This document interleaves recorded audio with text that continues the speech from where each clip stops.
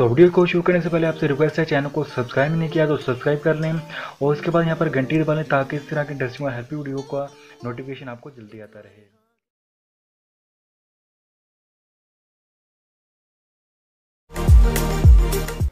What's up guys welcome back to Android bar आज की इस वीडियो में यहाँ पर मैं आपको Oppo F11 Pro के कुछ हिडन फीचर के बारे में बताने वाला हूँ। अगर आप Oppo F11 Pro यूज़ करते हैं, यहाँ पे लेने के लिए जा रहे हैं तो फ़र्स्ट ऑफ़ ऑल ये वीडियो दूर दूर देख लीजिएगा। इसके कुछ हिडन फीचर के बारे में आपको बताने वाला हूँ, जो कि आपके लिए बहुत ही ज़्यादा यूज़फुल होने वाले हैं।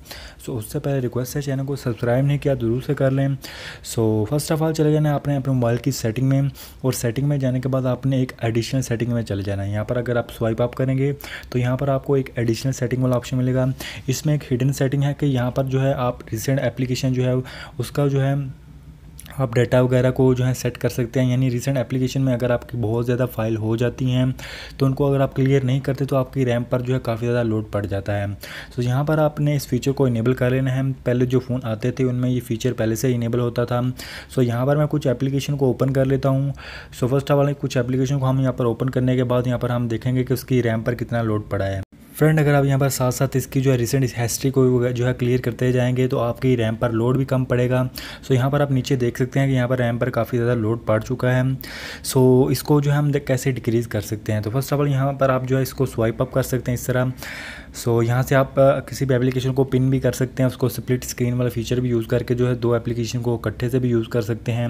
बट अगर आप यहाँ पर जो है रैम का जो है लोड वगैरह कम करना चाहते हैं यानी स्मूथ रखना चाहते हैं अपने मोबाइल को तो इसको यहाँ से आप क्लियर भी कर सकते हैं।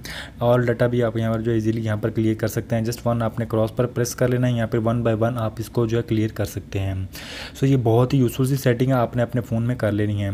सो इसके बाद यहाँ पर आप देख सकते हैं यहाँ पर आपको रनिंग सर्विस आपको पता चल जाएगा आपकी मोबाइल की जो है रनिंग सर्विस उसमें जो है काफ़ी ज़्यादा जो है लोड कम हो चुका है। सो so, इसके बाद यहाँ पर हम बात कर लेते हैं अगले फीचर में। सो so, यहाँ पर इसके अगले बात की फ़ीचर कर ली जाए तो यहाँ पर सबसे पहले यहाँ पर आप जो अपने मोबाइल की जो है अबाउट सेक्शन में चले जाना है और यहाँ पर जाने के बाद आपने जो है अपने वर्जन को सेवन दफ़ा प्रेस कर लेना है। उसके बाद आपने जो है अपना डेवलपर ऑप्शन जो है उसको इनेबल करना है। सो so, जब आप डेवलपर ऑप्शन इनेबल करेंगे तो यहाँ पर आपको बहुत ज़्यादा फीचर देखने को मिलेंगे। सो so, यहाँ पर देख सकते हैं किस तरह मैंने अपना डेवलपर ऑप्शन इनेबल किया है। सो so, इसी तरह आपने दोबारा अपने डेवलपर ऑप्शन इनेबल कर लेना है। इनेबल करने के बाद यहाँ पर आपको कुछ ज़्यादा फीचर देखने को मिलते हैं। जैसा कि यहाँ पर जो है रनिंग सर्विसेज़ देख सकते हैं फ़ोटोज़ वगैरह को अगर आप यहाँ पर जो है कैप्चर करना चाहते हैं सो इस फीचर को आपने इनेबल कर लेना है। पिक्चर जो है कलर इसको आपने इनेबल कर लेना है। इसको जब आप इनेबल करेंगे तो आपकी जो है, अगर आप फोटोग्राफी वगैरह करते हैं तो आपकी पिक्चर जो है, बहुत ज़्यादा अच्छी क्वालिटी की आएँगी। सो डेवलपर ऑप्शन में यही कुछ हिडन फीचर होते हैं, जिसकी मदद से जो अपने मोबाइल की स्पेसिफिक जो है, उसको इम्प्रूव कर सकते हैं। सो यहाँ पर आप देख सकते हैं, यहाँ पर आपको रनिंग सर्विस वाला भी ऑप्शन मिल रहा है। तो रनिंग सर्विस वाले ऑप्शन में अगर आप यहाँ पर जाएँगे सो आपको काफ़ी ज़्यादा एप्लीकेशन यहाँ पर आपको देखने को मिलेगी। सो इनके कैचेज वगैरह आप यहाँ पर जो है क्लियर कर सकते हैं, जिसकी वजह से इसकी रैम पर काफ़ी ज़्यादा लोड जो है, वो कम हो जाता है।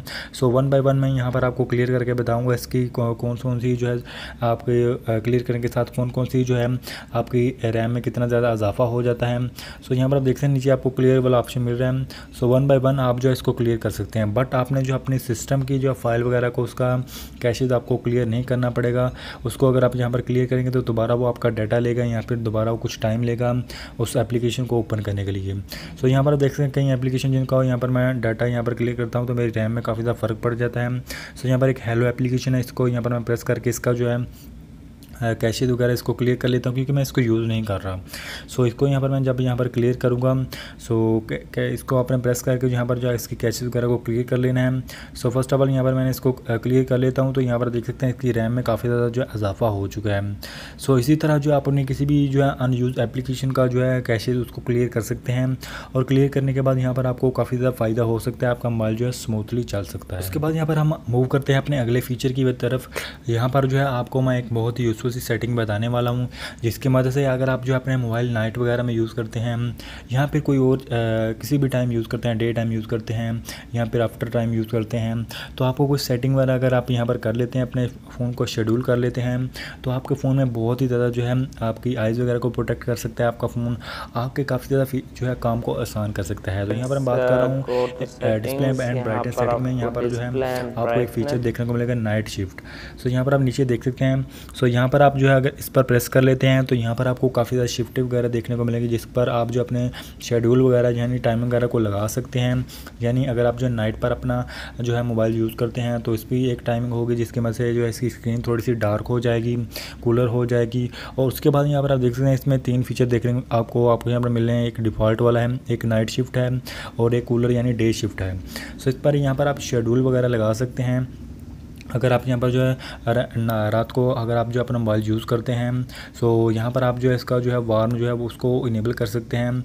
सो यहाँ पर देख सकते हैं, इसके बाद जो आपका स्क्रीन थोड़ा सा डार्क हो जाएगा, जिसकी मदद से आपकी आइज़ वगैरह भी प्रोटेक्ट रहेंगी, आपकी आइज़ वगैरह को कोई भी प्रॉब्लम नहीं आएगा, कुछ पेन वगैरह भी आपको महसूस नहीं होगा। सो अगर आप यहाँ पर डिफ़ॉल्ट पर रखना चाहते हैं तो रख सकते हैं, बट यहाँ पर अगर आप यहाँ पर इसका शेड्यूल वगैरह बना सकते हैं तो एक दफ़ा बना लीजिएगा, इसके बाद आपको काफ़ी आसानी हो जाएगी। अगर आप जो है नाइट वगैरह में भी अपना मोबाइल यूज़ करते हैं, यहाँ पे डे टाइम यूज़ करते हैं। सो काफ़ी ज़्यादा यूज़फुल फीचर है इसमें। इसके बाद यहाँ पर आपको जो है, इसमें अपना टाइम वगैरह उसको सेव कर कर लेना होगा। इसके बाद ये आपका फ़ोन ऑटोमेटिकली नाइट बोर्ड में शिफ्ट हो जाएगा टाइमिंग बाई टाइमिंग सो इसकी मदद से आपकी आइज़ वगैरह भी प्रोटेक्ट रहेगी, अगर आपको याद नहीं रहता तो ये शेड्यूल आपको ज़रूर से याद कराएगा।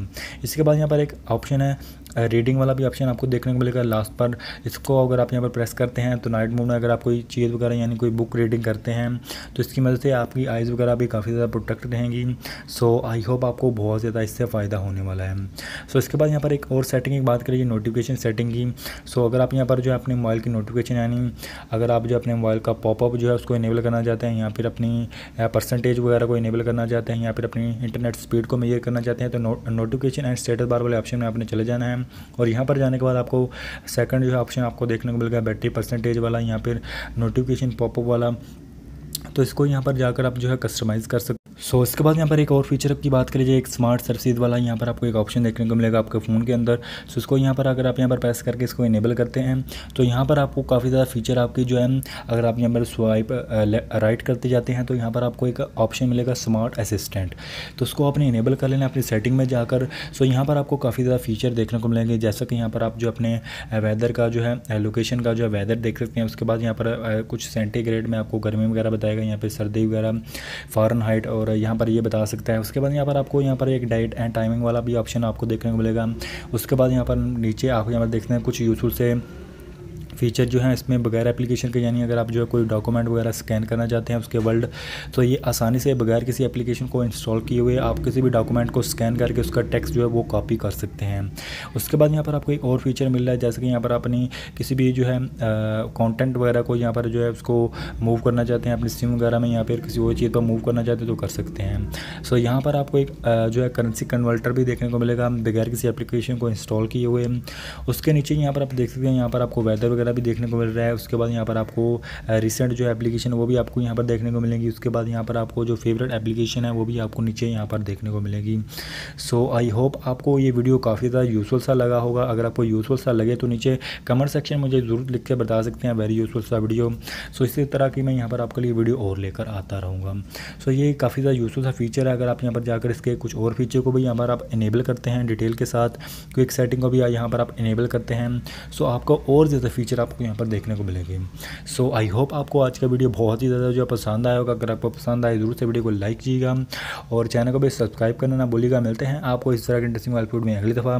तब तक लिए अपने हार रखेगा बाय